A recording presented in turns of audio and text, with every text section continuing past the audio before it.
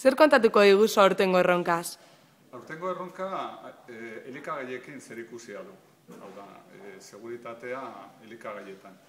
E, ekipoek gaurtik e, aurrera e, hartuko dituzte bi, bi lan. Bata, e, proiektu zientifiko bat egin behar dute e, gai horren inguruan, eta bestetik e, robot bat montatu eta programatu egingo egin beharko dute, e, hainbat proba gainditzeko. Proba haiek e, mundu osoan berrogeita mar e, herrialde baino gehiagotan berdinak izango dira.